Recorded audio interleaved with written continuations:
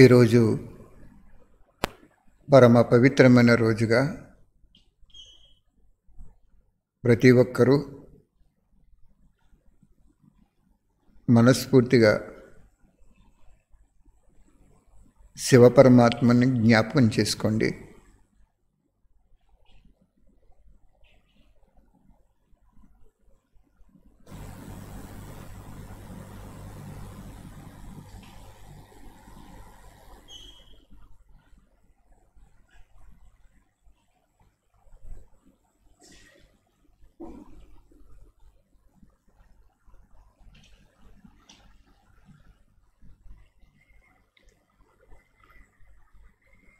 నక్షత్ర మండలం పైన ఉన్న బంగారు వర్ణం గల ధామంలో ఉన్నటువంటి మన ఆత్మీక తండ్రిని మనసు యొక్క స్నేహంతో జ్ఞాపకం చేసుకోండి.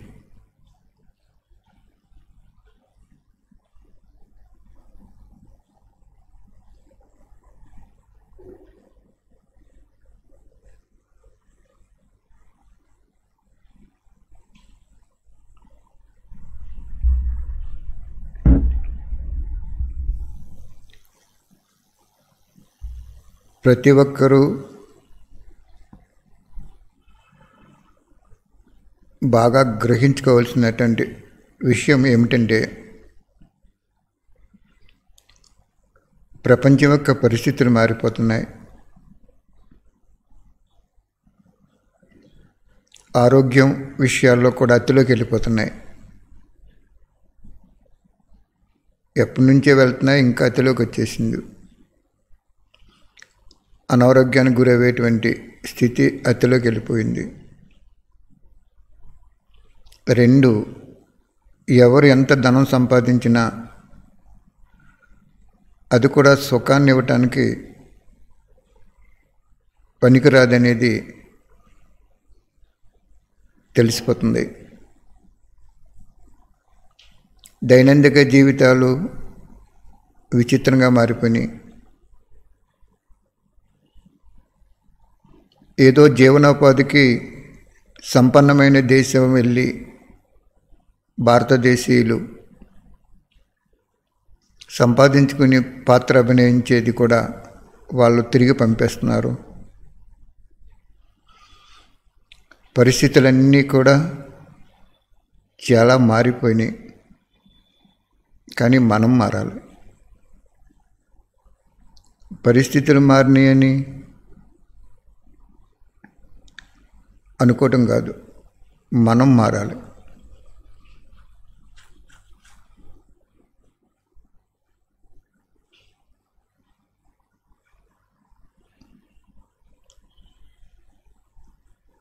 చూడండి. ఎనభై తొమ్మిదిలో మేము మధువనం బాబా తీసుకెళ్ళారు ఎంత చక్కగా బాబా వచ్చే ముందు చక్కటి పాట పెట్టేవారు. ఎంతో దూరాన్ని ఉన్నటువంటి పరమాత్ముడు. ఆ దూరాన్ని మనం లెక్క కట్టలేం. ఆ లెక్కలు లేవు ఇక్కడ మన లోకంలో. దాదీజీ శరీరంలోకి వచ్చి చక్కగా అవ్యక్త స్థితిలో స్థితులై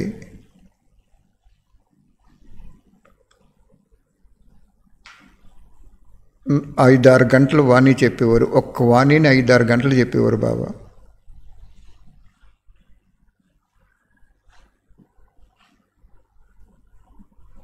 ఇంకా ముందైతే ఇంకా ఎక్కువ గంటలు తెల్లారిపోయేదని కూడా చెప్పేవారు. ఎందుకు చేపు చెప్పారు బాబా? అని మనం పరిశీలించుకుంటే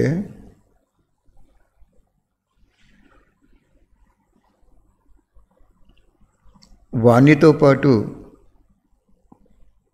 ఆయన అవ్యక్త స్థితి యొక్క శక్తి కిరణాలు కూడా వాయుమండలోకి వ్యాపించుండి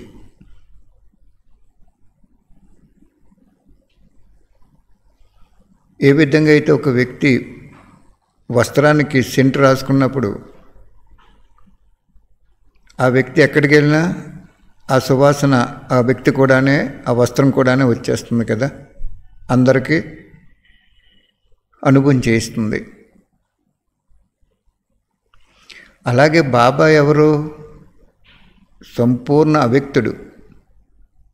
సదాకాలిక వ్యక్తుడు ఆయన కూడా ఏముంటాయి? అవ్యక్త శక్తికరణాలే ఉంటాయి.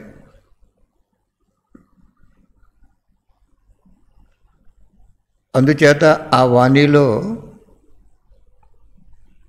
అంత శక్తి ఉంది.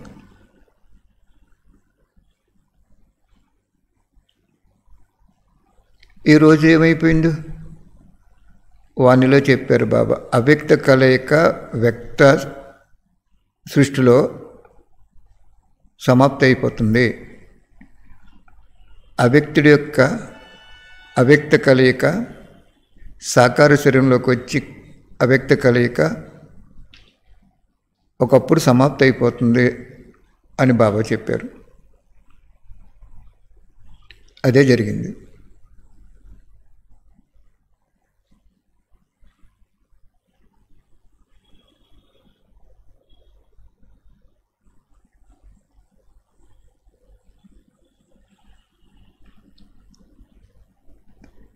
ఆ రోజు ఆ వాక్యం మనం సామాన్యంగా తీసుకున్నాం. కానీ ఈరోజు ఎంత తపస్సు చేసినా కూడా ఇంకా ఆ పాత్ర భగవంతుడిది రాదు.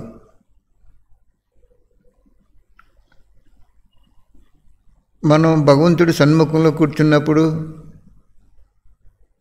ఎంత అనుభవం ఇది మనకి? సృష్టికర్త గురించి అందరూ ఎత్తుకుతున్నారు సృష్టికర్త మన దగ్గరకు వచ్చి మన సన్ముఖంలోకి వచ్చి చక్కటి మాటలు చెప్తున్నాడు. ఆయన ఎంత అద్భుతమైన తండ్రి దయాహృదయుడు కళ్యాణకారి భావన కలవాడు అని మనకు అనుభవం ఇది. కానీ ఈరోజు సినిమా మూడొంతులు అయిపోయింది ఫాస్ట్ అయిపోతుంది.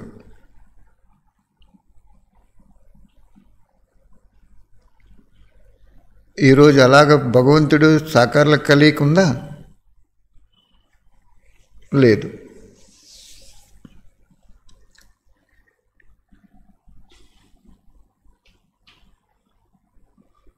ఇంకా ఉంటుందా? ఉండదు.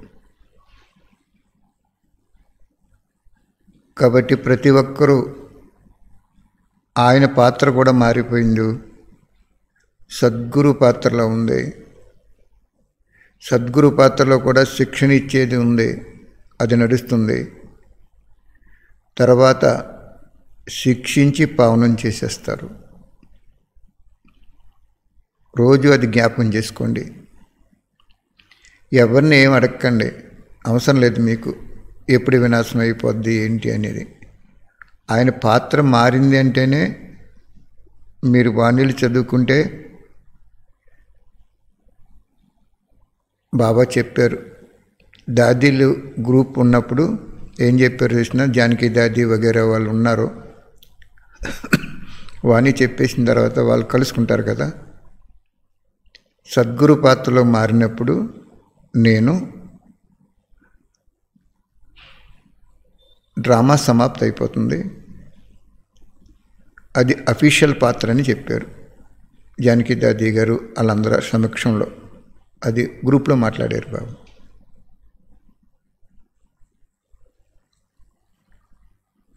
వారికి ఎందుకు చెప్పారంటే సూచన ఇచ్చేసారు ఇంక ముందు ముందు నేను ఇంక రానని.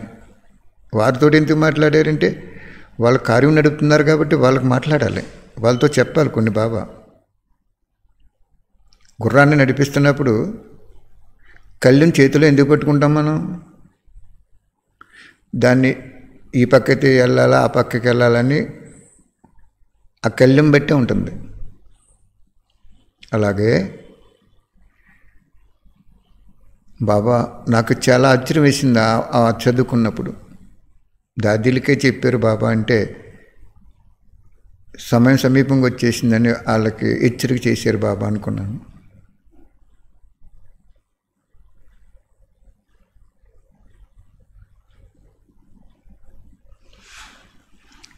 ఆ పాత్ర కూడా ముగిసిపోయే సమయం ఆసన్నమైపోతుంది.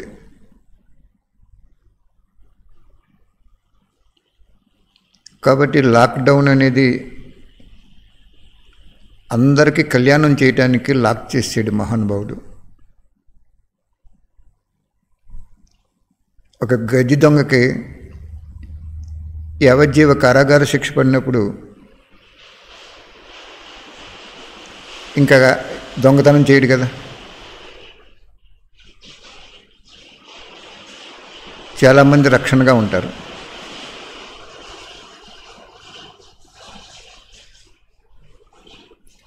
అది వేరు. కానీ మనకు బాబా మన కళ్యాణం కోసం లాక్డౌన్ పెట్టారు. ప్రపంచానికి కూడా ఇంకేమీ లేదు నాన్న. మీరందరూ నా పిల్లలే. ఇంతవరకు మీరు ఏ విచ్చలవిడిగా తిరిగినా ఎన్ని రకాలు వేషాలు వేసినా ఎన్ని రకాలు కృత్రిమంగా న్యాచురల్గా సుఖాలు అనుభవించిన నేను వదిలేసాను మిమ్మల్ని కూడా. బాబా పిల్లల్ని వదిలేశారు బయట వాళ్ళని కూడా వదిలేశారు బాబా. ఎందుకు ఎంచేత వదిలేశారు? తల్లి పాత్ర తండ్రి పాత్ర టీచర్ పాత్రలో ఉన్నారు.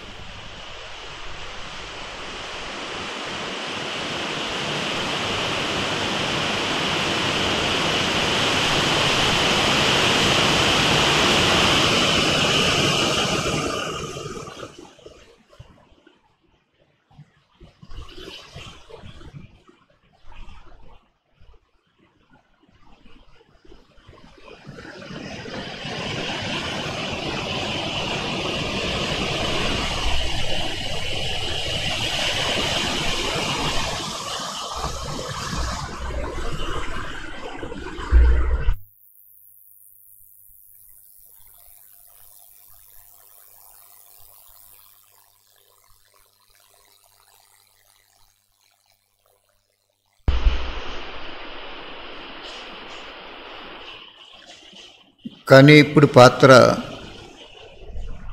సద్గురు పాత్రలో మారిపోయింది.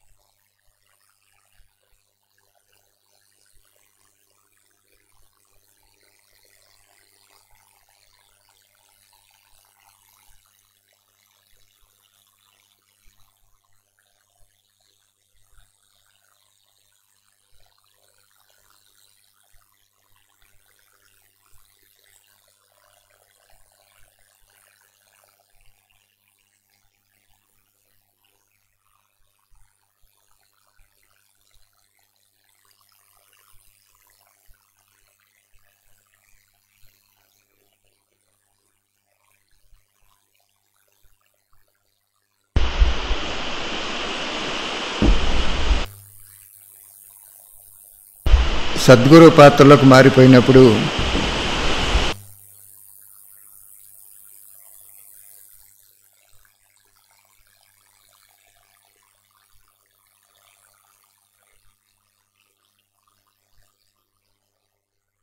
చాలాసార్లు బాబా చెప్పించారు.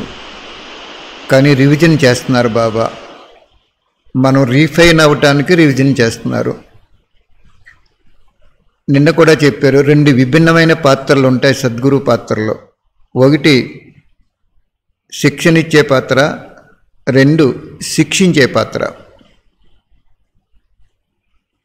ఒకదానికి ఒకటి భిన్నం వ్యతిరేకం. ఇప్పుడు ఈ లాక్డౌన్ పెట్టి పిల్లలు సెంటర్ వాళ్ళు టీచర్స్ అయినా మహారథులైనా మధువన నివాసీలైనా ఎవరైనా కానీ నన్ను ఒక్కరిని జ్ఞాపకం చేసుకోండి. ఇంకెవరి గురించి ఆలోచించకండి. ఏ వస్తు వైభవాలు ధనం పదార్థాలు దీని గురించి మీరు ఆలోచించకండి.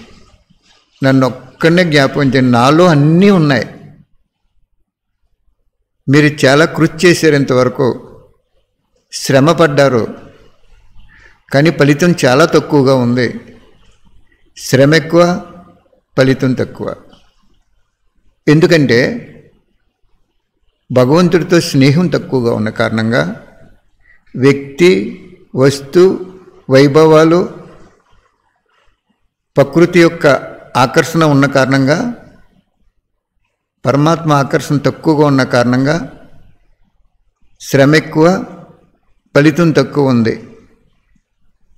బాబాకు తెలుసు అరవై మూడు జన్మల నుంచి మనం ఆ పాత్ర అభినయించామని. అందుకు లాక్డౌన్ చేసి నన్ను ఒక్కడనే జ్ఞాపకం చేసుకోండి. ప్రతి ఒక్కరూ నన్ను ఒక్కడనే జ్ఞాపకం చేసుకోండి. మీ దేహాన్ని మర్చిపోండి. దేహ అలౌకిక లౌకిక సంబంధికులను కూడా మర్చిపోండి. నన్ను ఒక్కని జ్ఞాపం చేసుకుని నాలో అన్నీ చూస్తే అందరూ సహజంగా మర్చిపోతారు మీరు. ఏ విధంగా అయితే కూతురు వివాహం జరిగిన తర్వాత అత్తవారింటికి వెళ్ళినప్పుడు పుట్టిల్లు మర్చిపోతుంది? తల్లిదండ్రులు మర్చిపోతారు? అన్నతమ్ములు మర్చిపోతారు అక్క చెల్లెలను కూడా మర్చిపోతారు. అది లోకంలో భగవంతుడు రసం పోసారు వాళ్ళకి. అలా మర్చిపోకపోతే ఆత్మ అక్కడ యాక్ట్ చేయలేదు కదా? ఆ కుమారి యాక్ట్ చేయలేరు. అలాగే ఒక ఐదు నిమిషాలు చక్కటి యోగం చేసుకోండి. బాబా నా కోసమే లాక్డౌన్ పెట్టావా? నువ్వు ఒక్కడే ఉంటే నీలోనే సర్వం ఇమిడి ఉంది. నీ ఆజ్ఞ లేకుండా నాకు ఆరోగ్యం రాదు. నీ ఆజ్ఞ లేకుండా నాకు ఆనందం రాదు. నీ ఆజ్ఞ లేకుండా నాకు ధనం రాదు. నీ ఆజ్ఞ లేకుండా నా సంబంధీకులు కూడా నాతో పాత్ర అభినయించరు శివుడు ఆజ్ఞ లేనిదే జీవరాశుల్లో చాలా చిన్నదైనటువంటి చీమ కూడా కరవదన్నారు. మరి అలా అందరికి అప్లై అవుతుంది కదా. బాబా శివబాబా నాకు ఏమీ వద్దయ్యా. నువ్వే కావాలి. నాకు ఏమీ వద్దు బాబా. బాబా శివబాబా. ఇందులో ఎంతో కళ్యాణం ఉందని సమయాన్ని సద్వినియోగం చేసుకోవటానికి నిమిత్తం చేసేవని సర్వబంధనాల నుంచి విముక్తి చేయటానికి ఈ ఈ విపత్తి తీసుకొచ్చేవని అర్థమవుతుంది బాబా అని అనుభవం చేసుకుంటూ ఉండండి. మహారథులాగా అయితే విద్యార్థి వరకు ఈ అనుభవం చేసుకుంటే మిమ్మల్ని అంతిమంలో చోటు వదిలేయండి చోటు వదిలేయండి అనే అద్భుతమైన కాషంతో ఉన్నటువంటి పరమాత్మ సంకల్పం మిమ్మల్ని రక్షణ స్థలాన్ని తీసుకెళ్ళిపోయి చాలా ఉన్నతమైనటువంటి స్థానానికి తీసుకెళ్ళి అదే మధువనం. మిమ్మల్ని విశ్వం ముందు ప్రత్యక్షం చేసి మీ ద్వారా ఆయన ప్రత్యక్షమవి డ్రామాని సమాప్తి చేసేస్తారు. మరి ఈ ఆటలో ఈ శిక్షణలో ఈ సద్గురు యొక్క దయా స్వరూపంలో మీరు పాస్ అవ్వాలంటే మీ ఇల్లుని శివాలయం చేసుకోండి. అక్కయ్యలు సెంటర్ని పరంధామగా చేసుకోండి. పరంధామలో పరమాత్మ ఒక్కడే ఉంటారు. ఆత్మలు ఉంటాయి కానీ అట్లా తెలియదు భగవంతుడి పక్కన ఉన్నట్లు. అలాగే విద్యార్థులు గృహాన్ని శివాలయంగా టీచర్సు సెంటర్ని పరమ పవిత్రుడైన శివాలయంగా నాకు భక్తులు వద్దు ఎవ్వరు వద్దు. నువ్వు ఒక్కడవే చాలు. అనే స్టేజ్కి మీరు వస్తే చాలా శిక్షలు లేకుండా విజయ పందాలో పాత్ర కల్పకల్పము అభినయిస్తారు. మీరు ఈ విషయంలో భగవంతుడి లాక్డౌన్ని సామాన్యంగా తీసుకుని ఇంకా కోరికల వలయాలలో కనుక చిక్కుకుంటే అలౌకికాత్మలందరూ మహారథులగాయతూ విద్యార్థి వరకు చాలా చాలా నష్టపోతారు. నెక్స్ట్ భిన్నమైన పాత్ర శిక్షించి పావనం చేసేస్తాడు. అర్థమైందా? వానికి వెళ్దామా మీ పిల్లల్లో ఎవరైనా స్కూల్కి వెళ్ళాలన్నప్పుడు మారం చేసినప్పుడు స్వీట్స్ పెడతారు డబ్బులు ఇస్తారు ఏం కావాలని కొనిపిస్తాను స్కూల్కి వెళ్ళి బాబు అంటారు.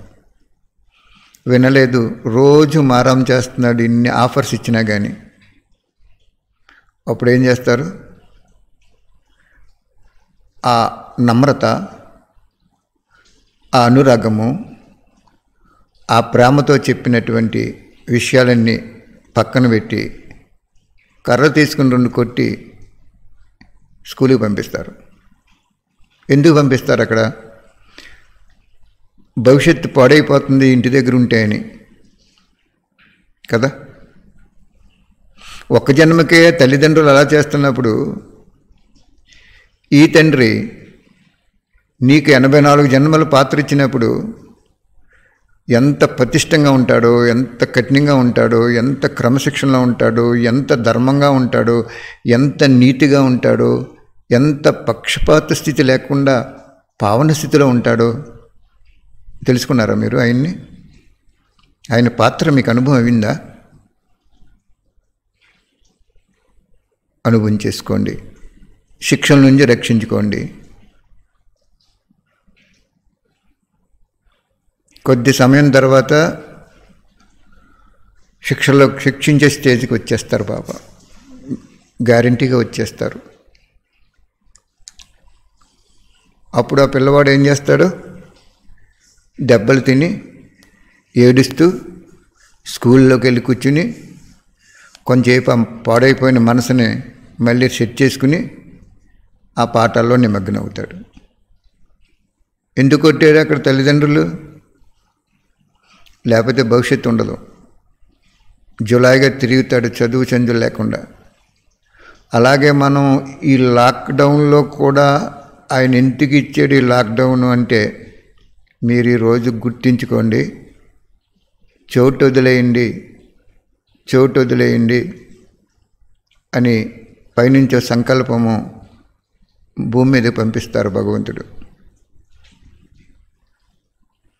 తుఫాను వచ్చినప్పుడు రక్షణ స్థలానికి వచ్చేయండి వచ్చేయండి అని గవర్నమెంట్ ఎలాగ మైక్లో చెప్తాదో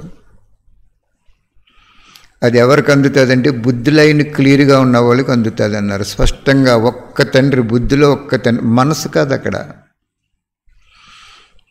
చూడండి ఇక్కడ చాలా కీన్ పాయింట్ ఉంది. మనసు కాదు. మనసులో అందరూ బాబా అంటే ఇష్టమే. మహారథులాగా అవుతూ ప్రజలుగా దాసీలుగా వెళ్ళే వాళ్ళందరికీ మనసులో బాబా అంటే ఇష్టమే. బాబా అంటే ఇష్టం లేకపోతే ఈ జ్ఞానంలో ఉండరు. అక్కడ మనసు యొక్క ప్రశ్న కాదు అది. బుద్ధి యొక్క ప్రశ్న. బుద్ధిలో ఎవ్వరు ఉండకూడదు. ఒక బ్రాహ్మణాత్మ వేరొక బ్రాహ్మణాత్మ కావాలని కూడా ఉండకూడదు. అర్థమైందా? దాన్ని జయించాలంటే ఏం చెప్పాలంటే మీరు బాబా అందరూ నీ పిల్లలే నీ పిల్లలే నీ పిల్లలే. నాకు ఎవరు నా నా సంబంధికులు కాదు. బాబా నీ పిల్లలు నువ్వు ఎలా రక్షించుకుంటావో నీ పిల్లలు అని సంకల్పం చేయండి. మొత్తం బాధ్యత అంతా అత భుజ స్కంధాల మీద పెట్టేసుకుంటాడు. మీ శ్రేష్ట సూక్ష్మ శుభ సంకల్పము వైరాగ్య వృత్తితో కలిగినటువంటి ఆ అనుసంధానము ఆయన స్వీకరిస్తాడు. కానీ మనసుతో చెప్పాలి. మళ్ళీ ముట్టుకోకూడదు చెప్పిన తర్వాత. కాబట్టి బాబా కొన్ని విషయాలు చెప్పి అప్పుడు వాణిలోకి వెళ్తున్నారు. మరి పాస్ అవుతారా? శిక్ష లేకుండా పాస్ అయిపోతారా? ఇప్పటికే మూడు నెలలు గడిచిపోయింది. ఇంకెంతకాలం మరి ఆయన ఇంకా శిక్షణ ఇస్తారో మనకు తెలియదు తర్వాత శిక్షించి పావనం చేసేస్తారు.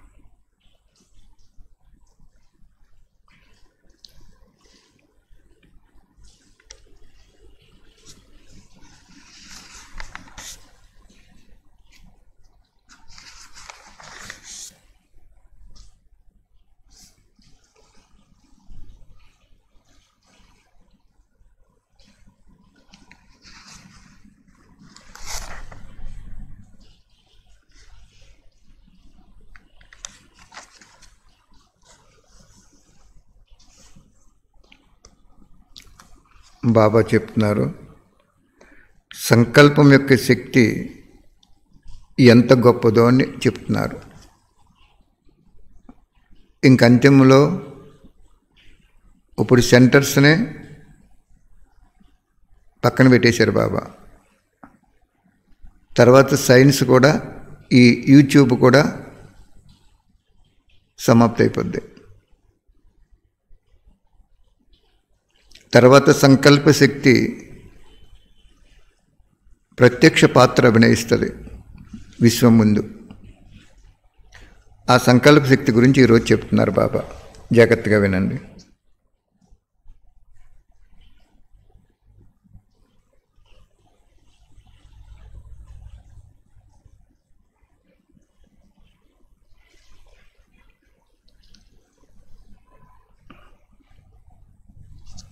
బాబా చెప్తున్నారు.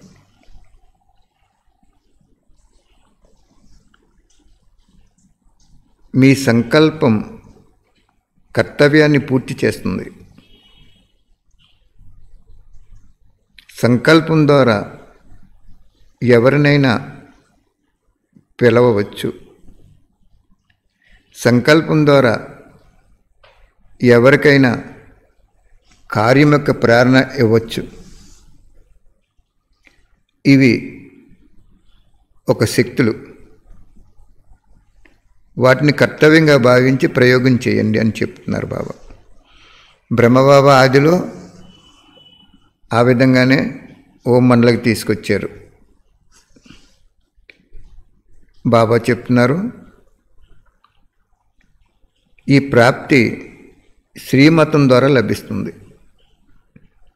ఎలా అయితే ఇక్కడ ఒక బటన్ నొక్కగానే ఎక్కడో దూరంగా ఉన్న టీవీలో దృశ్యం ధ్వని మారిపోతుంది కదా? మారిపోతుందా లేదా? రిమోట్ కంట్రోల్ ద్వారా. అలాగే మీరు ఇక్కడ సంకల్పం చేస్తే ఎక్కడో ఉన్నవారి బుద్ధిలో స్పష్టంగా చిత్రం కనిపిస్తుంది. ఏ చిత్రం? బాబా చిత్రం. అక్కడ అన్ని శక్తులు ప్రాప్తి ఉంటుంది. ఆ ప్రాప్తి కొరకు బుద్ధిలో ఇతర అన్ని విషయాలు సమాప్తి అయ్యి అయ్యి కేవలం శ్రీమతం యొక్క ఆజ్ఞ ప్రకాశం నడవాలి ప్రకారం నడవాలి. చూసారా బాబా ఏం చెప్తున్నారు. సంకల్పం సిద్ధి పొందాలి అంటే దానికి పురుషార్థం చెప్తున్నారు బాబా. బుద్ధి స్పష్టంగా ఉన్నప్పుడు నీ సంకల్పము ఎక్కడో ఉన్న ఆత్మలకి స్పష్టంగా బాబా చిత్రాన్ని చూపించేస్తుంది.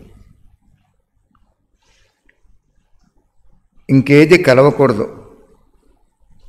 వ్యర్థ సంకల్పాలు శ్రీమతం కాదు. ఇది మీ మనసు చెప్పిన మతం. ఏ బుద్ధులు అయితే శ్రీమతం తప్ప ఏమీ కలవమో అప్పుడు శక్తులు వస్తాయి.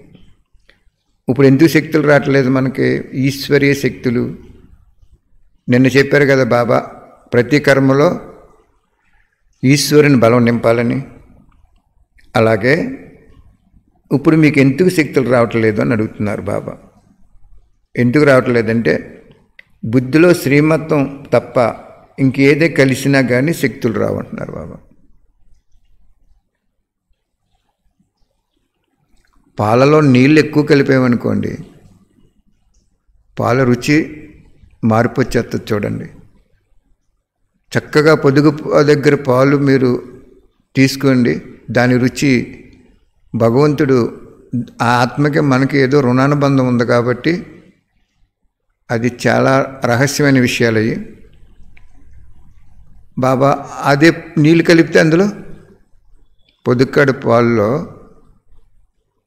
నీళ్ళు కలిపితే సగం బలం తగ్గిపోద్ది. పాలలో ఒక ఇంగ్రీడియంట్స్ ఉంటాయి. బాబా భగవంతుడికి తెలుసు. సృష్టిలో ప్రతి పదార్థము కూడా ఔషధ గుణాలు కలిగి ఉంటాయి.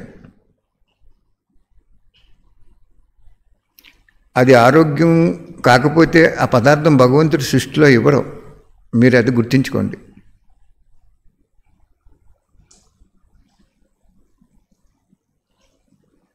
ఈ పదార్థము భగవంతుడు సృష్టించలేదు భూమి మీద అంటే ఆ పదార్థం మన ఆరోగ్యానికి మంచిది కాదు కాబట్టి సృష్టించరు. ప్రతి పదార్థము మన ఆరోగ్యం కోసమే ఇస్తారు బాబా. అది మాత్రం గుర్తుంచుకోండి. కానీ బాబా ఇక్కడ ఏం చెప్తారంటే పదార్థాన్ని విస్మరించడం కాదు పదార్థాన్ని పారమార్థకంలో మార్చుకోవాలి. అదే ప్రసాదం అవుతుంది. తిరుపతిలో లడ్డూలు బయట కొనే లడ్డూలకి రూపంలో తేడా ఏమి ఉండదు. కానీ అక్కడ మంత్రాలు ఉచ్చారణ చేసి లడ్డూలు తయారు చేసినప్పుడు ఆ మంత్రశక్తి ఆ లడ్డూలోకి ఇన్పుట్ అవుద్ది. అది ప్రసాదం అవుద్ది.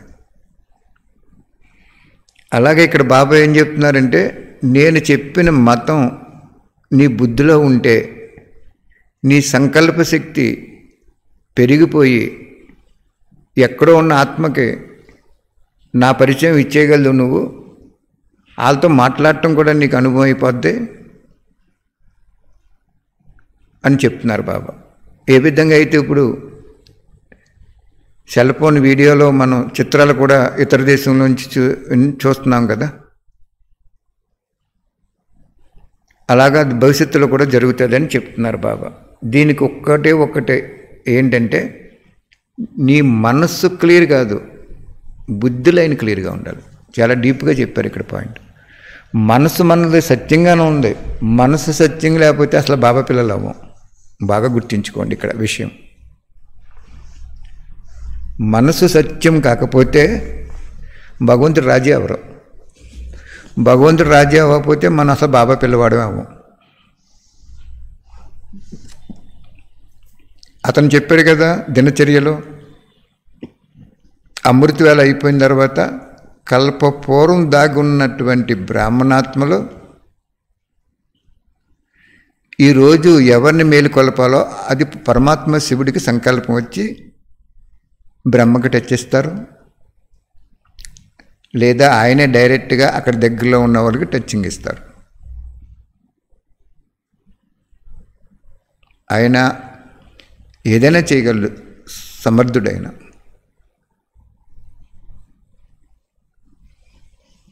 కాబట్టి మనసు సత్యం ఉంది కాబట్టి మనం బాబా పిల్లలు కానీ బుద్ధి లైన్ క్లియర్గా ఉంటేనే కానీ నువ్వు అంతిమ పేపర్లో పాస్ అవ్వు అని చెప్తున్నారు. బుద్ధి లైన్ క్లియర్ అంటే ఏంటంటే శ్రీమతం ఏదైతే చెప్పిందో మనస్స వాచ్య కర్మణ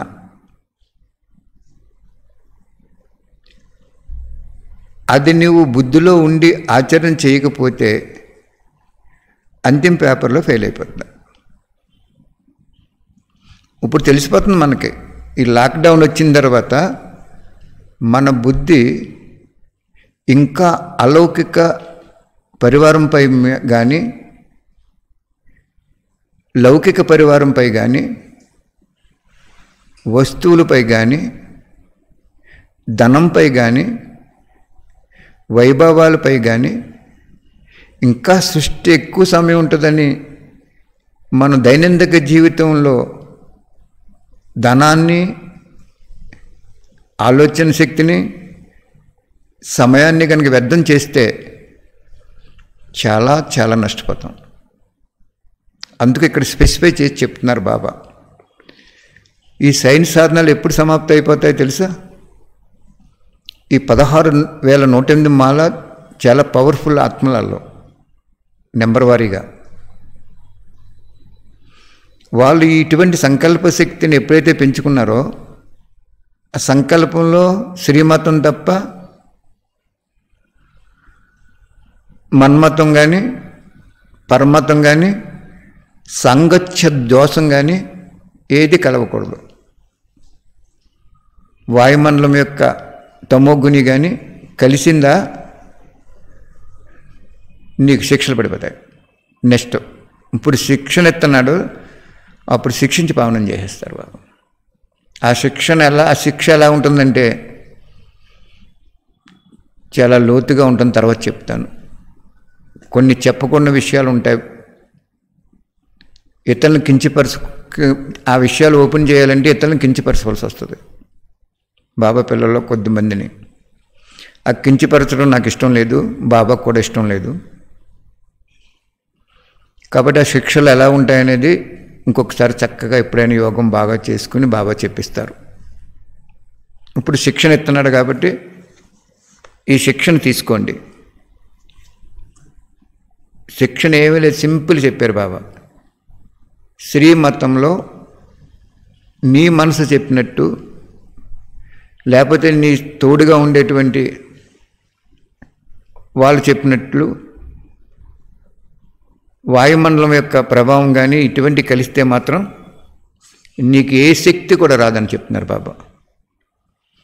నీకు భగవంతుడి శక్తి బిల్ విల్ చేయడు. నిన్న చెప్పాడు కదా వారసులకి నా అన్నీ బిల్ చేస్తానని. కాబట్టి బాగా అనుభవం చేసుకోండి. రోజు రోజుకి భవిష్యత్తు దేవతా స్వరూపము మరియు స్మృతి చిహ్నము ఇవన్నీ కూడా మీకు ప్రత్యక్షమవుతాయి. మీరు ఏ దేవత అవుతారో మీకు ఎక్కడ జన్మ తీసుకుంటారో ఏ ఎన్ని జన్మలు తీసుకుంటారో అన్నీ కూడా ప్రత్యక్షమైపోతాయి అంటున్నారు బాబా. ఎప్పుడు శ్రీమతంలో మన్మతం కలపకుండా సంకల్ప శక్తిని సిద్ధి స్వరూపంలో తీసుకొచ్చినప్పుడు మనస భావన వేరు జాగ్రత్తగా ఇక్కడ బాగా అర్థం చేసుకోవాలి. స్వర్గంలోకి వచ్చే ప్రతి మొన్న చెప్పారు కదా శ్మశాన వాటికలో ఎవరుంటారని? వాళ్ళందరికీ మనసు మనసు ఉంది కాబట్టి భగవంతుడు ఎన్నుకున్నాడు. ఇక్కడ మనసుతో మనసు ఆధారంగా పరీక్ష ఉండదు. బుద్ధి ఆధారంగా పరీక్ష ఉంటుంది. అంచేత మన బుద్ధిలో ఏది శ్రీమతము ఏది పరమతము ఏది మన్మతము ఏది మాయ ఇలాగా విశిక్షణ జ్ఞానంతో మనం ఫార్వర్డ్ అయిపోవాలి. ఒక విద్యార్థి గురువు గారికి ఎన్నో ఉపకారాలు చేస్తాడు. పొద్దుటే ఇంటికి వెళ్తాడు ఏది కావాలో చేస్తాడు అన్నీ చేస్తాడు. అది మనసు ఉంది కాబట్టి చేస్తున్నాడు. మనసు యొక్క స్నేహం ఉంది కాబట్టి. అతను చదువుకోకుండా ఉంటే పరీక్షలో ఏమవుతుంది? ఏదైనా ఇంట్రెస్ట్ ఉంటే ఇతను ఇతను కనుక దిద్దితే రెండు మూడు మార్కులు కలుపుతాడు. ఇంకా ఎవరైనా దిద్దితే పేపరు? అకార్డింగ్ టు కెపాసిటీని బట్టి మార్కులు వేస్తారు. కదా? అదేవిధంగా అక్కడ ఆ పిల్లవాడు ఆ గురువుకి ఎంతైతే సేవ చేశాడో అంత చదువు చదువుకోవాలి. అలాగే ఇక్కడ మనస్సు మన ఎంత మంచిదైనా కానీ బుద్ధి మాత్రం ఏది కలిపినా ఇంక బాబా శక్తులు రావంటున్నారు మీకు. సంకల్ప శక్తి అనేది రాదు రాదు రాదు. బాబా చెప్తున్నారు లోతులకు వెళ్ళి పరిశీలన చేసుకోండి. ఏ కార్యంలో కూడా ఎప్పుడు భయపడకండి. లోతులకు వెళ్ళినప్పుడే సఫలత పొందుతారు.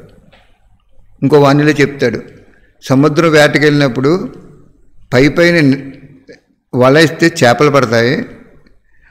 అది మనం సముద్రం గర్భం అడుక్కి వెళ్ళిపోతే రత్నాలు దొరుకుతాయని చెప్తారు బాబా.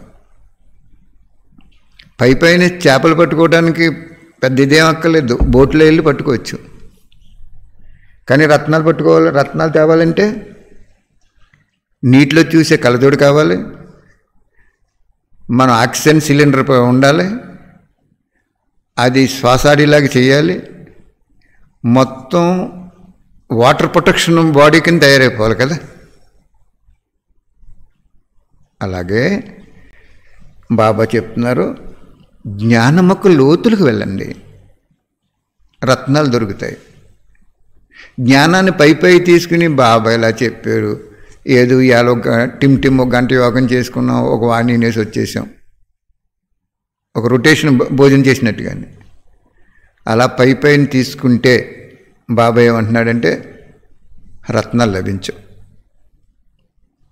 నీ బుద్ధి రీఫైన్ అవ్వదు మిక్సింగ్ అయిపోతూ వెళ్తుంది. కానీ స్వర్గం వస్తావు నువ్వు. బాబా దగ్గర గ్రేట్ అదే. ఫెయిల్ అయిపోయినా కూడా స్వర్గం తీసుకొస్తాడు మహానుభావుడు. అక్కడ ఏదో ఉద్యోగం ఇస్తాడు. అంటే ఏదో పాత్ర ఇస్తాడు. బాబా చెప్తున్నారు. మనసు యొక్క సంకల్పాలను చూసి కూడా భయపడకండి. సహనశీలతో ఎదుర్కోండి. సహనశీలతో ఉన్నవారు సంతుష్టంగా ఉంటారు. మరియు మొన్న చెప్పారు కదా బాబు ఫస్ట్ స్టార్టింగ్లో సహనశీలత గుణం ఏం చేస్తే తెలిసిందండి? అంతిమ పేపర్లో పాస్ చేసేస్తుంది. అంటే ప్రతి విషయాన్ని సహించుకుంటూ సంతోషంగా ఉంటూ నేర్చుకుంటే అంతిమలో ఐదు తత్వాలు ఐదు వికారాలు విజృంభించినప్పుడు కూడా మనం సంతోషంగా ఉంటాం ఎదుర్కొంటాం పాస్ విత్ హండ్రెడ్ అయిపోతాం. అందుకు చెప్తున్నారు బాబు ఇక్కడ పాయింట్. సహనశీలత సహించటం అనేది శత్రువు ఎదురుగా వచ్చినా మొన్న చెప్పారు కదా బాబా. కర్మనా సేవ అంటే రజోగుని తమోగుని సంస్కారానికి కోసమే స్వభావానికి కోసమైన ఆత్మ నీ తీవ్ర పురుషాత్మలో పరీక్షగా నిలబడినా కానీ ఆ ఆత్మపై కూడా కళ్యాణకారి భావన శుభభావన ఉన్నప్పుడు నీ బ్రుకుట్లో జ్యోతి కనపడుతుంది. అది నిన్ను సమా నిన్ను పావనం చేస్తుంది ప్రకృతిని కూడా పావనం చేస్తుంది. ఆతల తమోగుని ఆత్మను కూడా పావనం చేసేస్తుంది. మూడు రకాలుగా ఉపయోగపడుతుంది. అర్థమైందా?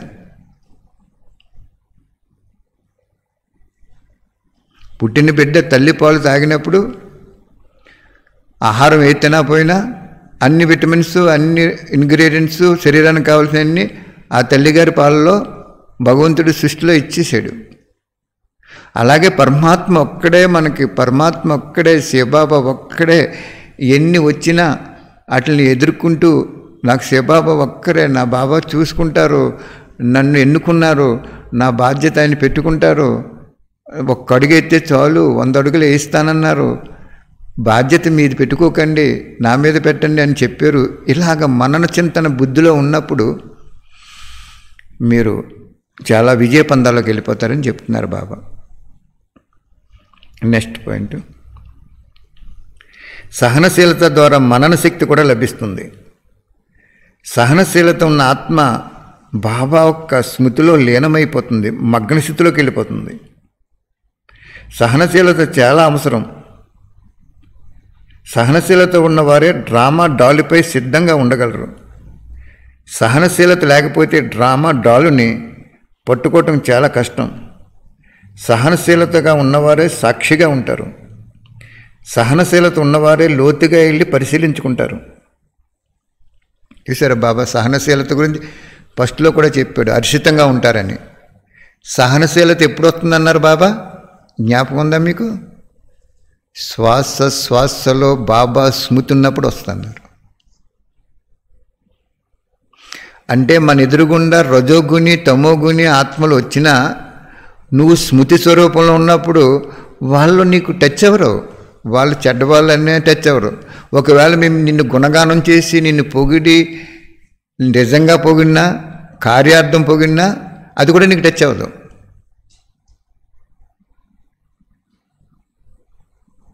భగవంతుడికి అర్పణ అర్పణ అయిపోతున్నాం కాబట్టి. ఆత్మలో శక్తి రావాలంటే ఏం చెప్పారు బాబా? ప్రతి సంకల్పాన్ని నాకు బలి చేయండి అర్పణ చేయండి అంటున్నారు బాబు.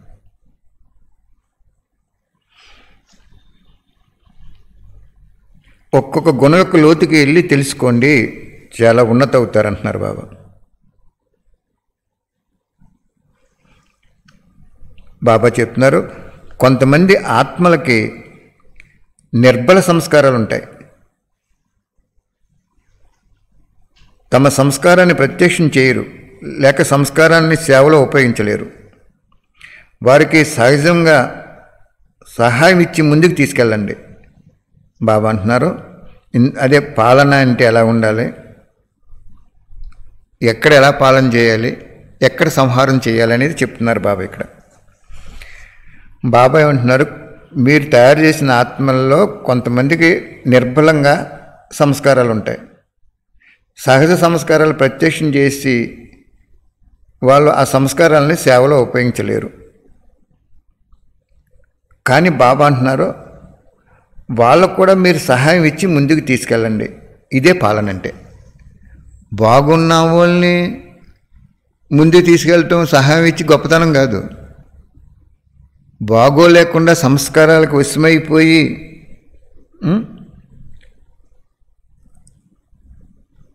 సేవ చేయలేని ఆత్మలకు కూడా సేవ చేయించండి అంటున్నారు బాబా. ఆరోగ్యంగా ఉన్నవాడు దగ్గరికి ఆరోగ్యంగా ఉంటే డాక్టర్ దగ్గరికి వెళ్తారా? వెళ్ళరు కదా. అలాగే బాబా ఏమంటున్నారంటే పాలన అంటే ఏంటంటున్నారు బాబా? పాలన గురించి చెప్పారు చూడండి. సెంటర్లో ఉండి పాలన చేయాలన్నా మన కుటుంబంలో ఉండి మన సంబంధీకులు జ్ఞానంలో రాకపోయినా పాలన చేయాలన్నా ఈ సూత్రం అవలంబించుకోండి అంటున్నారు బాబా. ఏంటి ఆ సూత్రం? నిర్బల ఆత్మలైన అది సేవలోని పురుషార్థంలోని ఉపయోగించలేని సంస్కారం లేని ఆత్మలైనా వాళ్ళకి ఏదో విధమైన సహయోగం ఇచ్చి ముందుకు తీసుకెళ్ళు అదే పాలన అంటున్నారు బాబా. ఎంత బాగా చెప్పారు చూడండి. సంస్కారాలు బాగుండి ముందుకెళ్ళిపోతున్నావు అని నువ్వేం చేయక్కర్లేదు. వాళ్ళు ఆటోమేటిక్గా ముందుకెళ్ళిపోతారు. మరి అంతే కదా బాబా డ్రామా ఎందుకు ఉందనుకుంటున్నారు ఇప్పుడు స్పాట్లో వినాశనం చేసేయగలడు ఆయన. ఎందుకు ఉంది బాబా పిల్లలు తయారవ్వలేదు. పదహారు వేల నూట ఎనిమిది మాలు కూడా తయారవ్వలేదు.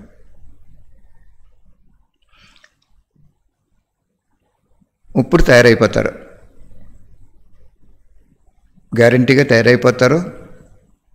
చాలా వండర్ఫుల్గా డ్రామా మారిపోద్ది.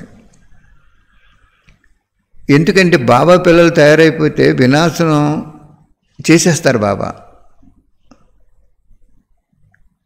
అప్పుడు పాపం బయట ప్రపంచం వాళ్ళు ఈరోజు చూడండి కువైట్ నుంచి ఎనిమిది లక్షల అంతమంది తిరిగి వచ్చేస్తున్నారు అంటున్నారు. భారత్ అమెరికాలో కూడా విద్యార్థులను కొంతమంది పంపించేస్తానంటున్నారు చాలా ఆఫీసుల్లో కూడా స్టాఫ్ని తగ్గించేస్తున్నారు. కదా? ఇవన్నీ జరిగిపోతున్నాయి. ఎన్నికు జరిగిపోతున్నాయి. నిజంగా మనం భగవంతుని తెలుసుకుని ఇటువంటి వికారాల అగ్నిలో కాలిపోతున్న ఈ భూప్రపంచంలో మనం రక్షణగా ఉన్నామంటే ఆయన మహిమ ఆయన దయ ఆయన మనల్ని ఇంతవరకు ఎన్ని తప్పులు చేసినా క్షమించి క్షమించి ఇంకా శిక్షణ ఇచ్చి పావనం చేయాలనే సద్భావన ఆయనలో ఉంది కాబట్టి మనం బతికిపోతున్నాం. అర్థమైందా? భగవంతుడి యొక్క యథార్థమైనటువంటి కరుణ ఎంత గొప్పదో.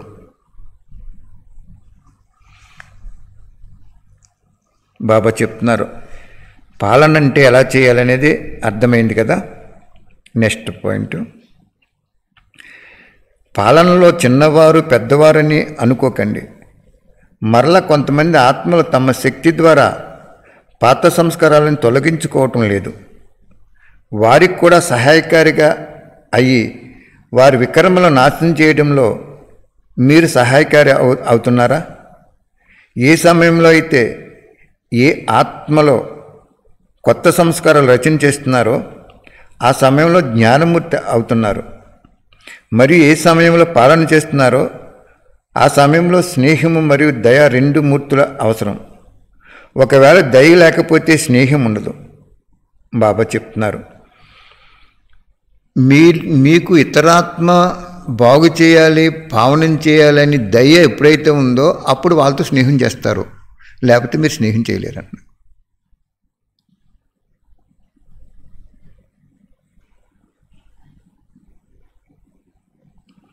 భగవంతుడికి ఎంత దయ ఉంది? ఏడు వందల ఎనభై కోట్ల జనం అని చెప్తున్నారు ప్రపంచంలో. రెండు వందల ఇరవై రెండు దేశాలని చెప్తారు. ప్రతి ఒక్క ఆత్మని కలలో అయినా నేను కనపడి బిడ్డ నువ్వు ఒక ఆత్మవు నేను నీ తండ్రి జ్యోతి స్వరూపాన్ని ఆ రెండు పదాలు ఎప్పుడైతే వాళ్ళకి వినిపించాడో బాబా పరిస్థితుల ద్వారా కానీ ఆయనకి ఆయన స్వయంగా కానీ వాళ్ళు సత్యత్రేతయుగం అయిపోయిన తర్వాత ద్వాపరయుగంలోకి వచ్చేస్తారు. ద్వాపర కలియుగాల్లో వాళ్ళకి పాత్ర వచ్చేస్తుంది. ఆ రెండు పదాలే ఆ రెండు యుగాల్లో జన్మనిచ్చేస్తుంది. మరి బాబా అదే చెప్తున్నారు.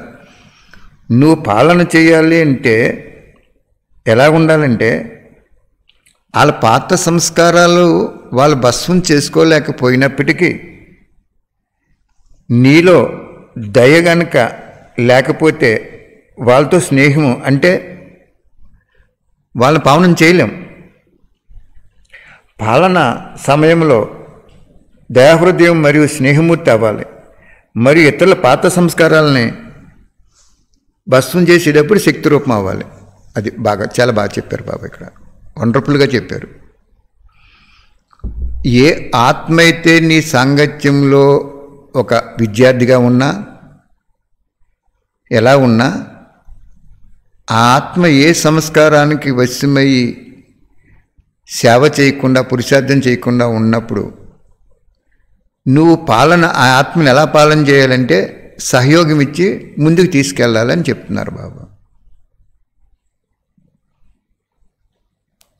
ఒకవేళ ఆ ఆత్మ మీద దయ లేకపోతే నీకు నిర్బల ఆత్మ మీద దయ లేకపోతే నువ్వు వాళ్ళకి స్నేహం ఇవ్వలేవు వాళ్ళ ముందుకు తీసుకెళ్ళలేవు అని చెప్తున్నారు బాబా. అలా స్నేహం ఇచ్చి దయ చూపించి ముందుకు తీసుకెళ్ళినా కానీ వాళ్ళలో చాలా జీర్ణించిపోయినటువంటి చెడు సంస్కారాలు ఉన్నప్పుడు నువ్వు అక్కడ దైవ దయ చూపించకూడదు. యోగశక్తిని పెంచి శక్తి స్వరూపంలో భస్మం చేయాలని చెప్తున్నారు అక్కడ బాబా. అర్థమవుతుంది? చాలా క్రిటికల్గా ఉంటుంది పాయింట్. బ్రహ్మబాబా ఉన్నప్పుడు కూడా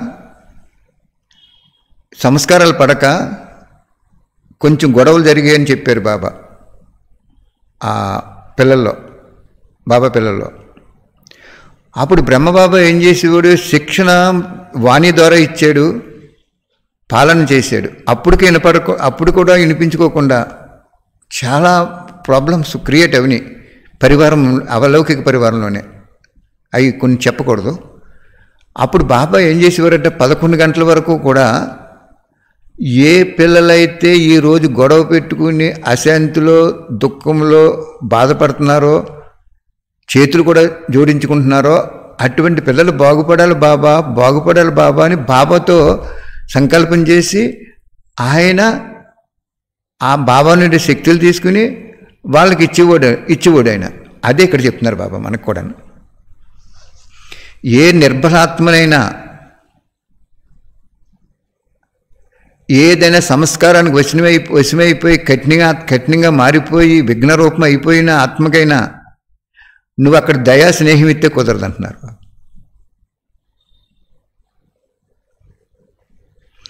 అక్కడ శక్తిశాలి స్మృతి బాబాతో చేసుకుని బాబాకి చెప్పి వీళ్ళు ఎలా ఉంటున్నారు బాబా అని ఆయనకి చెప్పగానే బాధ్యత ఆయన మీదకి వెళ్ళిపోయింది. నువ్వు ఆయన చెప్పకుండా నీ ఇష్టం ఉన్నట్టు యాక్ట్ చేసేవంటే బాధ్యత తీసుకోడు ఆయన.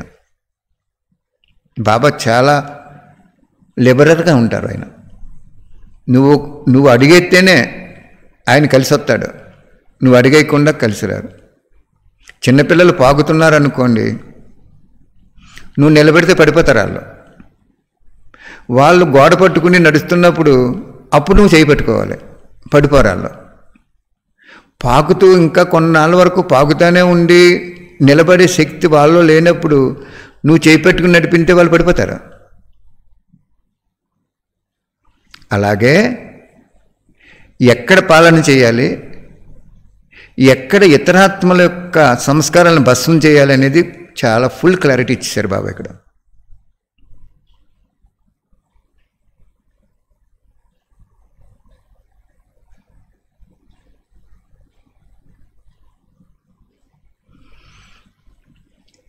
నిర్బలాత్మ తమ సంస్కారాలు పరివర్తన చేసుకోకుండా సేవ చేయట్లేదు ఏం చేయట్లేదు రోజు క్లాస్కి వచ్చేదో ఒకటి వినేసి వెళ్ళిపోతుంది అన్నమాట ఆత్మ. అందుకని నేను మీకు పదే పదే పదే చెప్తున్నాను. సెంటర్స్లో ఇరవై మంది ఉన్నా నలభై మంది ఉన్నా వాళ్ళు ఎంత పరివర్తన వేరు ఎంత త్యాగం చేశారు దేనికి త్యాగం చేశారు వాళ్ళ పొజిషన్ ఏంటి అని మీరు చూసుకుని వాళ్ళ పరివర్తన చేయకుండా మీరు కేవలం వాళ్ళు వస్తే సంతోషపడిపోతే మీరిద్దరు కూడా ఉన్నత అవ్వలేరు ఇక్కడ పాలన అంటే చాలా డీప్గా చెప్పుకొచ్చారు ఇక్కడ బాబా. పాలన అంటే నీ తోటి సాంగత్యంలో ఉన్న బ్రాహ్మణాత్మకి నిర్బల సంస్కారాలు ఉండి ఆ ఆత్మ సేవకు కూడా ఉపయోగపడలేని స్థితిలో ఉన్నప్పుడు నువ్వు సహయోగి అయ్యి దయాహృదయుడిగా అయ్యి స్నేహం ఇచ్చి ముందుకు తీసుకెళ్ళి అంటున్నారు బాబా. అంటే ఫస్ట్ స్టెప్ ఎలా ఉంది? చెప్పాను కదా పిల్లవాడిని స్వీట్లు ఇచ్చి ముందుకు తీసుకెళ్తాం వినకపోతే కొడతాం. అదేవిధంగా అప్పటికి నీవు అంత స్నేహం ఇచ్చినా అంత దయాహృదయంతో ఉన్నా ప్రేమ ఉన్నా నిర్బలాత్మక సహయోగం ఇచ్చినా మారలేదనుకోండి అప్పుడు కూడా నువ్వు వదిలేదంటున్నాడు ఆత్మని. నువ్వే నువ్వు వదలకూడదు అక్కడ అంటున్నాడు బాబా. ఏం చేయాలంటున్నాడు? సంహార్య రూపం అయ్యి శక్తి రూపం అయ్యి సర్వశక్తివంతుడిని తో తోడి తీసుకుని ఆయనకి ఆ కంప్లైంట్స్ చెప్పి చెప్తే చాలు నువ్వు ఆయన ఇచ్చేస్తాడు ఆయుధాలు. అప్పుడు వాళ్ళని సంహరించే రూపం గుప్తంగా వాళ్ళకు కూడా తెలియదు సంహరిస్తున్నట్టు. ఆపరేషన్ చేసేటప్పుడు మత్తిస్తాడు ఆపరేషన్ చేస్తున్నప్పుడు మొత్తిచ్చినప్పుడు ఆ వ్యక్తి తెలియదు ఆపరేషన్ చేస్తున్నట్టు. తెలిస్తే బాధ వస్తే ఆపరేషన్ చేయనివాడు అలాగే బాబా ఇక్కడ ఏం చెప్తున్నారు అంటే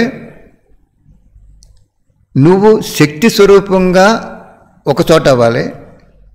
ఒక చోట నువ్వు కేవలము దయ చూపించి స్నేహం ఇచ్చి సహయోగం ఇచ్చి ముందు తీసుకెళ్ళు. అది చెప్తున్నారు బాబా అక్కడ. ఓకే? చాలా క్రిటికల్గా ఉంటాయి ఈ పాయింట్స్. చాలా ఎంత క్రిటికల్గా ఉంటాయో అంత క్లియర్గా క్లారిటీ వచ్చేస్తాయి మనకి. మనసు పెట్టుకుని చదువుకుంటే. బాబా చెప్పేస్తారు ఆయన.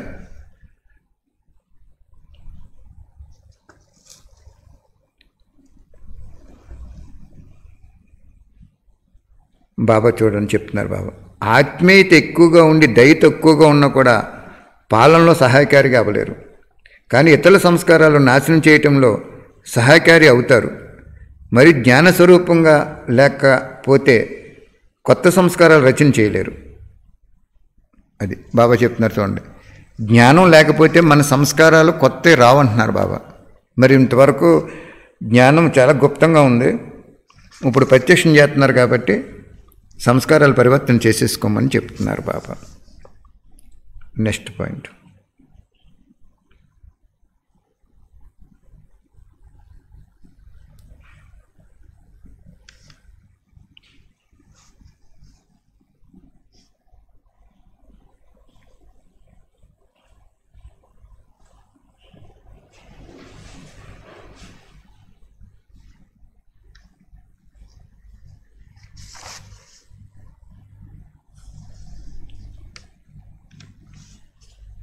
బాబా చెప్తున్నారు.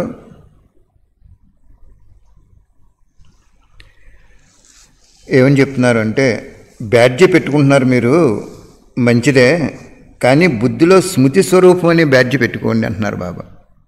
మనం బ్యాడ్జీ పెట్టుకొని బయటికి వెళ్ళగానే ఏదైనా షాప్కి వెళ్ళాము అనుకోండి ఓ మీరు బ్రహ్మకుమారిసా అండి మంచిది ఏం కావాలి బాబు అని కొంచెం గౌరవం తప్పకుండా ఇస్తారు. కానీ బాబా అంటున్నారు మంచిది అది పెట్టుకున్నారు. కానీ బుద్ధిలో స్మృతి స్వరూపం ఎక్కువగా నడవాలని చెప్తున్నారు. బుద్ధిలో శక్ స్మృతి స్వరూపం నడవలే నడవలేదనుకోండి అక్కడ ఆ కార్యానికి వశమైపోతాం. ఎలాగంటే మీకు చెప్తాను వినండి. మనం బ్యాడ్జీ పెట్టుకున్నాం వైట్ డ్రెస్ వేసుకున్నాం ఒక షాపింగ్కి వెళ్ళాం. వెళ్ళినప్పుడు వాళ్ళు ఏం చేస్తారంటే వాళ్ళు కూడా వీళ్ళు చాలా ధనవంతులు వీళ్ళు మంచి సామాన్లు అవి చూపించాలని చూపిస్తారు. ఓకే?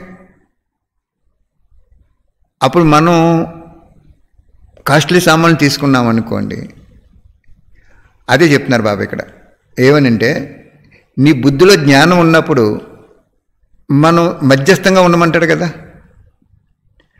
అప్పుడు మనం బుద్ధిలో జ్ఞానం నడుస్తున్నప్పుడు మధ్యస్థంగా తీసుకుంటాం. అప్పుడు ఆతల వాళ్ళు కూడా ఏమనుకుంటారంటే వీళ్ళు అసలు లగ్జరీ అంటే ఇష్టం ఉండదు వీళ్ళకి. వైరాగ్య వృత్తిలో ఉంటారు. అవసరానికే తీసుకుంటారని వాళ్ళకు కూడా సంకల్పం ఆటోమేటిక్గా క్రియేట్ అయిపోద్ది అంటున్నారు బాబా అక్కడ. అంటే ఉదాహరణగా చెప్ చెప్తున్నారు ఇక్కడ బాబా. పాయింట్ అర్థమైందండి మీకు? ఎప్పుడు కూడా మనం ఫస్ట్ నేర్చుకోవాల్సింది ఏంటంటే అండి ఎవరిని ఏది అడుక్కోకూడదు. బ్యాడ్జీ పెట్టుకున్నాం. వైట్ డ్రెస్ వేసుకున్నాం. వెళ్ళాం. మనకు ఒక ఐరన్ కావాలి పోనీ బిల్డింగ్ కడుతున్నాం మనం. ఐరన్ కావాలి. మనం అడగకూడదండి అసలు. వాస్తవాన్ని చెప్పాలంటే మన సైలెంట్గా కూర్చుని బాబా ఈ బిడ్డ నీ బిడ్డే. ఇతనికి ఎంత లాభం వస్తుందో ఎంత నష్టం వస్తుందో ఎంత ఇవ్వాలో నువ్వు చూసుకుని ఇప్పించంతే. అని నువ్వు స్మృతి స్వరూపంలో ఆ బిడ్డ కూడా బాబా బిడ్డే కాబట్టి అతను కూడా నష్టపోకుండా వాళ్ళు ఎన్నో బ్యాంకుల్లో లోన్లు అవి తీసుకుని పెడతారు. అంచేత మనం అతన్ని పూర్తిగా నువ్వు నాకు సం అమ్- సమర్పణ అయిపోండి. భగవంతుడి కార్యం ఇది భగవంతుడు కడుతున్నాం. నువ్వు కూడా డొనేషన్ చేయని మనం నూటంపుడు అసలు ఎప్పుడు అడగకూడదండి.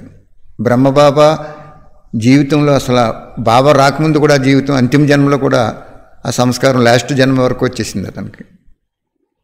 మనం ఎప్పుడైతే అడిగామో బాబా సైడ్ అయిపోతాడు అక్కడ. జాగ్రత్తగా చాలా కీన్ పాయింట్ ఇది. బాబా సైడ్ అయిపోతాడు. అంచేత నువ్వు బ్యాడ్జీ పెట్టుకున్నావంటే ఆ తండ్రి ప్రత్యక్షం చేయాలి. అప్పుడు మనం ఏం చెప్పాలి? మనం ఏం చెప్పక్కర్లేదు. స్మృతి స్వరూపంలో కూర్చొని మీరు. ఆతలు కరెక్ట్గా ఆన్సర్ వచ్చేస్తుంది మీకు. అప్పుడు మనకేమనిపించదంటే బాబా మధ్యస్థంగా చేసుకోమన్నాడు కాబట్టి ఆ మధ్యస్థంగా మనకి కార్యం నెరవేరిపోద్ది. అది చెప్తున్నారు బాబా ఇక్కడ. బ్యాడ్జీ పెట్టుకున్నారు మంచిదే కానీ బుద్ధిలో స్మృతి స్వరూపం మాత్రం తప్పకుండా అవ్వండి. బుద్ధిలో స్మృతి స్వరూపం లేకపోతే ఏమైపోద్ది? ఆకర్షితం అయిపోతాం దేనికో దానికి. అది చెప్తున్నారు బాబా. ఇంకోటి లాస్ట్ పాయింట్ ఏం చెప్తున్నారంటే బాబా మీరు పుస్తకం మీద ఏదైనా పుస్తకం తయారు చేసినప్పుడు శివబాబా ఎంబలం ఎప్పుడైతే వేసారో బాబా అంటున్నారో మొత్తం చాలా బాగా ఏం చెప్తున్నారంటే బాబా ఇక్కడ? చిత్రం శృతి ద్వారా. చిత్రం యొక్క స్మృతి ద్వారా అన్ని స్మృతులు సమాప్తి అయిపోతాయి అంటున్నారు మొత్తం. మొత్తం జ్ఞానం అంతా ఆ చిత్రంలోనే ఉంటుంది అంటున్నారు బాబు. చూడండి ఎంత బాగా చెప్పారు. ఏం చెప్తున్నారు బాబా? మనం ఏదైనా ఒక పుస్తకం తయారు చేసినా ఒక క్యాలెండర్ తయారు చేసినా ఏం చేసినా అతని చిత్రం లేకుండా ఉండకూడదు. ఇప్పుడు మనం సెంటర్స్లో ఏముంటున్నాయి? పెద్ద పెద్దది బ్రహ్మబాబా ఫోటో ఉంటుంది పైన చిన్నదే శివబాబా ఉంటాడు కానీ ఇక్కడ బాబా చెప్తున్న స్పెసిఫిక్ పాయింట్ ఏంటంటే భగవంతుడి యొక్క యథార్థమైన రూపం యొక్క చిత్రం ఎంబలం కనుక మీకు ఆ పుస్తకం మీద వేసినప్పుడు ఇంకా పుస్తకం అది తప్ప ఇంకెవరే ఉండకూడదు.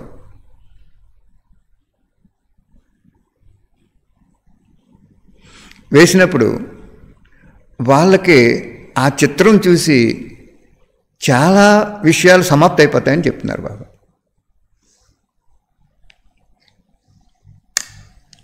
అందుకే నేను బ్యాడ్జీ పెట్టుకునేటప్పుడు కూడా కింద బాబా ఇమ్లం ఉంటూ పైన ఓం శాంతి బదులు శివపరమాత్మని పెట్టుకుంటాను నేను. నాకు ఎప్పుడు బాబా అనుభవించేశారు పాయింట్ ఎవరు ఏమనుకొని ఆయన చెప్పింది నేను చేసేస్తాను. ఎందుకంటే ఒక్కసారి ఆ శివపరమాత్మ అని చదువుకున్నా కూడా ఓహో ఇది శివుడికి సంబంధించిన బ్యాడ్జీ అని సంకల్పం వస్తుంది వాళ్ళకి.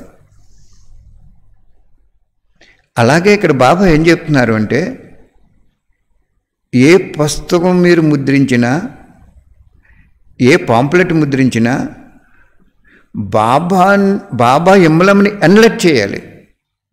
ఆయన చిత్రం కనుక ఉంటే చెప్తున్నాడు అక్కడ. ఏం చెప్తున్నారు బాబా? మిగిలినటువంటి అన్నీ కూడా సమస్యలన్నీ కూడా సంకల్పాలు డౌట్స్ ఇవన్నీ కూడా సమాప్తి అయిపోతాయి అంటున్నారు బాబు. మరి మనం కోటి పుస్తకాల సేవలో ఆయన చిత్రం ముద్రించాం. పెద్ద చిత్రం అయింది. కింద ఏం వేసాం?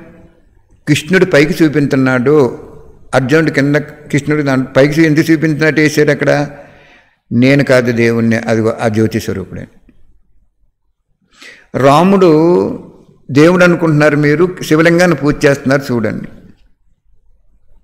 మళ్ళీ అక్కడ ఆంజనేయులు ఎదర చక్కగా పుస్త శాస్త్రాలను పెట్టుకుని తపస్సు చేసుకున్నట్టు చూపించున్నారు. మరి నువ్వు ఒక పాయింట్ అడగొచ్చు. మరి ఒక చిత్రం బ- శివబాబాది ఒకటే వేయచ్చు కదా ఎన్ని ఇంటికి వేసేవని మీరు అడగొచ్చు. ఇక్కడ బాబా అదే చెప్తున్నాడు. అసలు నా చిత్రం లేకుండా మీ చిత్రాలు ఉండకూడదు. ఆయన చిత్రం ఎలా ఉండాలి? పిండి ఎంత ఉండాలి? ఉప్పు ఎంత వేస్తాం? చిన్న చెంచాడు వేస్తాం కేజీ పిండిలో. అలాగే వీళ్ళ చిత్రాలు చిన్నగా ఉండాలి. వీళ్ళ చిత్రాలు పెద్దగా ఉండి ఆయన చిన్నది ఉంటే ఇష్టపడ్డాయన. ఇది చాలా మీకు అర్థం అవ్వదు. చాలా డీప్ పాయింట్స్ ఇవన్నీ పైకి సింపుల్గా కనపడతాయి కానీ లోపల చాలా రహస్యాలు ఇమిడి ఉంటాయి ఇందులో. అప్పుడు బాబా చెప్తున్నారు ఆ పాయింట్ అక్కడ. ఇంకో వాణిలో చెప్తాడు. ఆ ఎంబలం చూసి కళ్ళకు అద్దుకుని ముద్దు పెట్టుకుంటారు కొంతమంది ఆ పుస్తకాన్ని. అప్పుడు కూడా బాబా అన్నాడు అలా కళ్ళకద్దుకుని చదువురాని వాళ్ళు కూడా ప్రజలుగా వచ్చేస్తారని చెప్పాడు ఒక వాణిలో. ఆ ఎంబలము ఆ ఎంబలమ్ అట్రాక్ట్ అవ్వాలి అక్కడ మెయిన్. అర్థమైందా? ఇంకా డీటెయిల్స్ ఇంకోసారి నేను క్లియర్గా చెప్తాను. కానీ ఇక్కడ వరకు ఇది అర్థం చేసుకోండి. మీరు ఏ పాంప్లెట్ కొట్టించినా ఏది చేసినా శివబాబా ఎంబలం మాత్రం చాలా పెద్దదిగా ఆకర్షణీయంగా అట్రాక్ట్ అయ్యేలా ఉండాలి. మేము క్యాలెండర్లు బుక్ చేసినప్పుడు ఆల్ ఓవర్ ఆంధ్ర అన్ని జిల్లాలకి బుక్ చేయించారు బాబా. మూడు సంవత్సరాలు ఎంతో. లక్ష లక్ష క్యాలెండర్లో రెండు లక్షల రెండు లక్షల యాభై వేలు అవ్వేటప్పుడు ఆపేసేవాళ్ళు. షాప్లోకి వెళ్ళి ఏమండి బాబు మీరు ఇదివరకు వెంకటేశ్వర స్వామి అన్నీ ముద్రించారు? ఇలాగ భగవంతుడు ఒక్కడే. ఇగో ఈ క్యాలెండర్లో ఇది ఆయన కింద వీళ్ళందరూ దేవతలని చెప్తే వాళ్ళు వంద రెండు వందలు అలా బుక్ చేసేసేవారు. మనకు పని ఏంటండి ఎక్కడికో ఒక షాప్కి వెళ్ళి చేయించవలసిన పనే వచ్చింది మనకి. కానీ బా బా సెంటర్స్ కాదు అక్కడ. బాబా పిల్లలకు కూడా కాదు క్యాలెండర్లో మనసులో ఏమనిపించిందంటే వాళ్ళకి తెలియదు కాబట్టి తండ్రి గురించి ఒక్క నిమిషం చెప్పి బుక్ చేస్తే వాళ్ళు పావనం అయిపోతారు ప్రజల్లోకి వచ్చేస్తారు వాళ్ళు షావుకారులుగా అయిపోతారు వాళ్ళు. బాబా చెప్పారు ఏ షాపులో అయితే బుక్ చేశారో వాళ్ళు అక్కడ స్టోర్ రూమ్స్ ఉంటాయి కదండి షావుకారులుగా అక్కడ కేపర్స్గా ఉండిపోతారని చెప్పారు బాబా. అప్పుడు మేము ఏం చేసేవాళ్ళం? తండ్రిని చాలా పెద్ద చిత్రం వేసి వీళ్ళంతా దేవతలుగా ఆయన నుంచి కిరణాలు వస్తున్నట్టుగా చూపించి చేసేవాళ్ళం. ఒక ఆయన ఐదు వేలు ఆర్డర్ ఇచ్చాడు. ఒక చిత్తూరులో ఒక బట్టల షాప్ ఆయన. చిత్తూరు ఉంది ఆయనకి ఇంకో చోట కూడా ఎక్కడో కానీ ఉంది. ఆయన ఐదు వేలు క్యాలెండర్లు కావాలి క్యాలెండర్ ఒకటి ఐదు రూపాయలు అప్పుడు. ఆయన ఏమన్నారంటే బాబు నాకు నాలుగు రూపాయలు కావాలన్నారు. ఐదు వేలు క్యాలెండర్లు ఇస్తానండి. యాక్చువల్గా చెప్పాలంటే మనం నాలుగు రూపాయలకి ఇస్తే మనకి లాస్లోనే ఉంటుంది అక్కడ. శ్రమ మిగుతుంది అప్పుడు బాబా ఏం చెప్పారు చూసినండి? వ్యాపార రూపంలో చూడొద్దు నువ్వు. అతనికి నాలుగు రూపాయలకు ఇచ్చేయి ఐదు వేల మందికి సందేశం వెళ్తుంది అతనికి. అతని ద్వారా. అతను ఎంతో పుణ్యాత్ముడు అవుతాడు. నువ్వు ప్రోత్సహించావు కాబట్టి సగం పుణ్యం నీకు వచ్చేస్తుంది. నువ్వు ఐదు రూపాయలే ఇమ్మని అడిగావనుకో నీకు నష్టం వస్తున్నా లాభం వస్తున్నా ఐదు రూపాయలు ఇవ్వాలని అడిగావనుకో పుణ్యం ఇద్దరికి కట్ అయిపోద్ది అని చెప్పారు బాబు. వెంటనే ఫోన్ అలా రింగ్ రింగ్ అవుతుంది ఈ పక్కన చెప్పేస్తున్నారు బాబా నాకు. అప్పుడు నాలుగు రూ నాలుగు రూపాయలకి ఒప్పుకున్నాం. కానీ బుక్ చేసి వాళ్ళు ఏమనుకునేవారు బాబా పిల్లలు? ఆది నన్నే నాలుగు రూపాయలకి ఒప్పుకున్నాడంటే ఇంకెంత మిగులుతుందని ఆలోచించేవారు వీళ్ళు. అదే అంటున్నాను బాబా ఎప్పుడు కూడా బ్రాహ్మణ పరివారంలో ఒకరిపై ఒకరికి విశ్వాసం ఉండాలి. ఒకరిని ఒకరు అనుమానించుకోకూడదు. కానీ అది లాభమో నష్టమో ఏదో విషయం బాబా ఏం చెప్పారు? ఆ ఆత్మకే ఐదు వేల క్యాలెండర్లో ఒక అజ్ఞాని ఆత్మ బాబాని తెలుసుకొని ఆత్మ ఆ ఇంబలం చూసి బాబు నాకు ఐదు వేలు క్యాలెండర్లు అయ్యి నేను నాలుగు రూపాయలు చొప్పున ఇస్తాను. అక్కడికి అడిగాం మేము ఒక ఆరు రూపాయలు కలుపుకోండి అంటే నేను పైసా ఎక్స్ట్రా ఇవ్వను అన్నాడు. వ్యాపారస్తులలో అప్పుడు బాబా వెంటనే ఏం చెప్పారంటే నీకు లాభం వస్తుందో నష్టం వస్తుందో అది పక్కన పెట్టేది అతనికి ఎంతో పుణ్యం వస్తుంది. నువ్వు ఎప్పుడైతే కోఆపరేట్ చేసావో సగం పుణ్యం నీకు వచ్చేస్తుంది. అంటే పుణ్యం ముందు ధనం ఎంత? అన్నారు బాబా. నీకు కావాలంటే నేను ఇస్తాను ఇంకో రూపంలో. అని ఈ- ఈ పక్కన ఫోన్ ఉంది పక్కన చెవిలో ఈయన చెప్తున్నాడు. ఓకే చేసాం అప్పుడు నిజంగా ఈ బుక్ చేసి బాబా పిల్లలు వాళ్ళు వాళ్ళు ఏమనికి ఐడియా వస్తుంది ఈ నిజంగా వ్యాపారం చేస్తున్నాడు నాలుగు రూపాయలకి ఇచ్చేసారు ఇంకెంతో లాభం వస్తుందని. నేను అప్పుడు వాళ్ళు ఏమనుకునేవ్వండి మనం సత్యంగా నడుస్తున్నాం లేదా? మన బుద్ధి లైన్ క్లియర్గా ఉందా లేదా? మన బుద్ధి లైన్లో శ్రీమతం తప్ప మన్మతం కలలేదు కదా? ఇవి చూసుకోవాలి మనం ఎప్పుడు ఎవరినైనా చూసి వాళ్ళ తృప్తి చేయాలంటే పరమాత్మను తృప్తి చేయలేం.